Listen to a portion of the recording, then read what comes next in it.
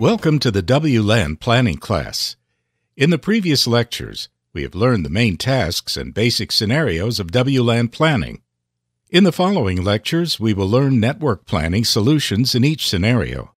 Today, let's check the first scenario, indoor settled deployment. After completing this course, we are expected to understand how to plan a WLAN for an indoor settled deployment scenario in terms of coverage and capacity, as well as solution risks in this scenario. First of all, let's look at a specific planning case. This is the floor plan of an office area. How should we plan a WLAN for this area? The entire area is divided into three parts. The first part includes the open office areas. These areas are large open spaces. There are only some bearing pillars marked black without solid walls. The numbered positions are office desks, and they are densely distributed in the entire area. During the planning, the first thing that comes to our mind is the number of APs required to provide signal coverage in the target area.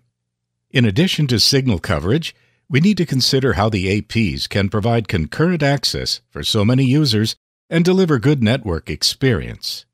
The second part consists of small meeting rooms and small independent office areas in the middle of the floor plan.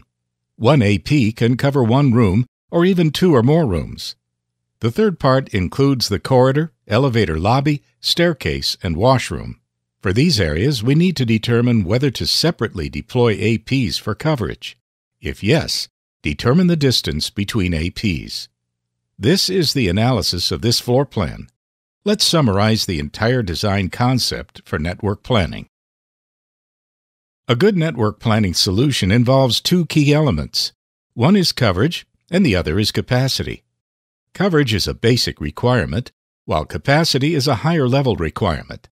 Factors affecting signal coverage include the coverage range and obstacle attenuation of a single AP in an open area. Back to the floor plan. For large open office areas, if we know the coverage range of a single AP, we can determine the number of APs required to cover the target areas. For small independent office areas, we need to know not only the coverage range of a single AP, but also the attenuation of walls, so that we can know whether an AP needs to cover two or more rooms. Good signal coverage is achieved when the field strength in all areas is greater than or equal to minus 65 dBm.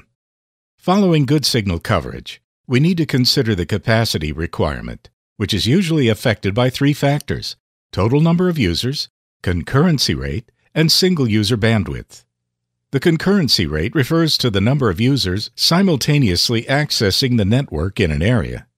Based on the required per user bandwidth and single AP performance, we can know the number of concurrent users allowed by a single AP. With the total number of users and the concurrency rate, we can calculate the number of APs meeting the capacity requirement in the area. We will adopt the larger value between AP quantities meeting the coverage and capacity requirements, respectively. In most cases, the number of APs for the capacity requirement is greater than or equal to that for the coverage requirement. Next, let's check the factors one by one. Typically, the coverage radius of an indoor settled AP is 10 meters, and the distance between APs is about 20 meters.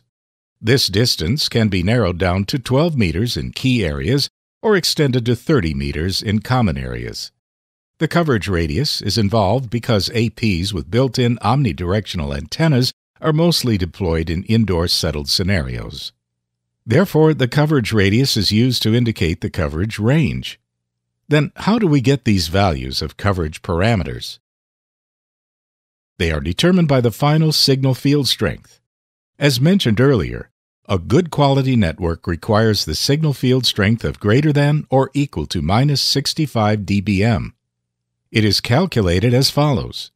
The AP transmit power plus the antenna gain minus transmission attenuation and signal attenuation caused by obstacles. The transmit power of an AP has a maximum value and can be set as needed. After an antenna is selected, the antenna gain is fixed. The transmission attenuation of signals increases with the transmission distance. We can see in the table that the attenuation of 2.4 GHz and 5.8 GHz signals also increases with the transmission distance, and at the same distance, the attenuation of 5.8 GHz signals is greater than that of 2.4 GHz signals. Assuming that the environment is open without obstacles, signal attenuation caused by obstacles is zero. Then what is the field strength of 5.8 GHz signals at a transmission distance of 10 meters? At this distance, the transmission attenuation is 83 dB. We assume that the AP's transmit power is set to 20 dBm and the antenna gain is 3 dBi. Then we can get the result minus 60 dBm. That is, the field strength of 5.8 GHz signals at the edge of the coverage radius of 10 meters is about minus 60 dBm. Now you may ask, how is the relationship between the transmission distance and attenuation established? Here is a formula for calculating the indoor path loss. L indicates the path loss, F indicates the working frequency in megahertz. The value of F is 2400 for 2.4 gigahertz signals and 5800 for 5.8 gigahertz signals. In addition, the uppercase D indicates the attenuation factor and the lowercase p indicates the penetration factor. In an indoor semi-open environment, the values of the uppercase d and lowercase p are fixed. The only variable in the formula is the lowercase d indicating the distance. After we replace parameters with fixed values in the formula, a simplified formula is obtained. Then we can substitute different distance values, for example, 1 meter, 2 meters, 10 meters, and 40 meters to obtain the attenuation values of 2.4 GHz and 5.8 GHz signal. Note that the link budget can only be used as a theoretical reference. In actual network construction, adjust the link budget based on the building type, on-site radio environment, and simulated test environment. In other words, the distance between APs is only calculated in theory. In actual situations, we need to adjust the distance between APs based on site conditions. The overall distance is typically limited between 12 meters and 30 meters. Signal attenuation caused by obstacles depends on the material and thickness of obstacles. Let's take a look at this table for details. Common obstacles include synthetic material, asbestos, wooden door, glass window, heavy colored glass, brick wall, thick brick wall, armored glass, concrete, and metal. As we can see, signal attenuation of these obstacles increases from top to bottom. The most common obstacle is the brick wall. For obstacles with higher attenuation than the brick wall, we usually consider that signals cannot penetrate such obstacles. In contrast, if obstacles have lower signal attenuation than the brick wall, such as wooden door and synthetic material, Signals can pass such obstacles for coverage. If the number of APs in a project is abundant, it is not recommended that signals pass through brick walls for coverage. Next, let's check principles required for deployment design. First, minimize the number of obstacles through which signals pass. Second, ensure that the APs face the target coverage area. Third, deploy APs far away from interference sources. At last, deploy APs in W-shaped mode, which is a recommended mode for these areas with rooms and the above-mentioned large open areas. Next, let's take a look at capacity design. The factors that affect the capacity include the total number of users, concurrency rate, and per-user bandwidth. A user concurrency model can help us understand the concurrency rate. This is a large stadium, Assume that there are 80,000 people in the stadium. 60,000 of them use smartphones to connect to the network.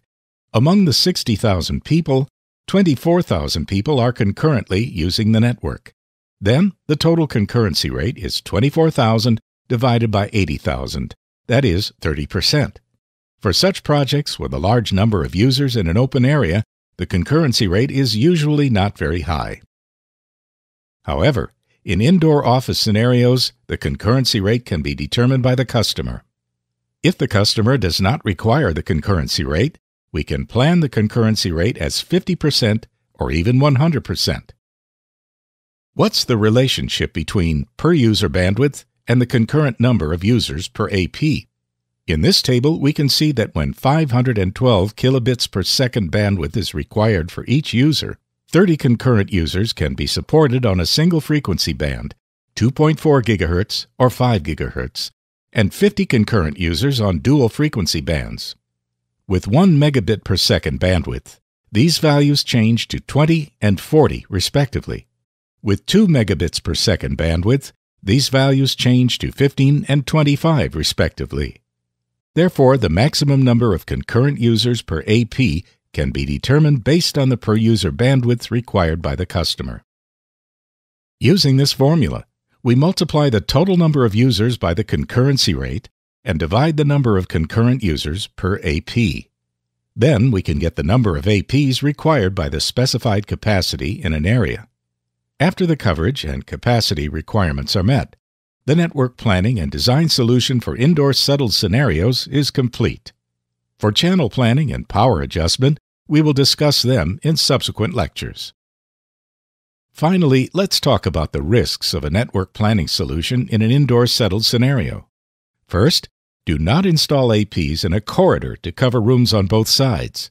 In some projects, the customer may limit the number of APs and deploy APs in a corridor to cover rooms on both sides. This solution has great risks because wireless signals from the APs have to cross multiple walls to cover rooms and will be greatly deteriorated. In addition, interference may occur between APs deployed in a narrow corridor. Therefore, the W-shaped deployment mode, as shown in the left figure, is recommended. Of course, one AP can cover multiple rooms if the wall material allows. The second risk lies in the AP mounting height. If the floor height exceeds 6 meters, wall mounting is recommended rather than ceiling mounting. Ensure that the mounting height of an AP is less than 6 meters, or deploy external directional antennas. This is because an AP with omnidirectional antennas may encounter coverage holes right below itself. So far, that's all for today's introduction to the network planning solution for indoor settled scenarios. Thank you for your time.